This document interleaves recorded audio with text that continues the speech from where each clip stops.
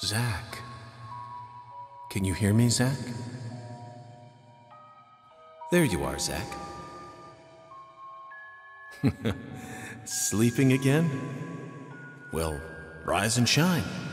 It's time for us to head back out into the chaos. Isn't that right, Zach?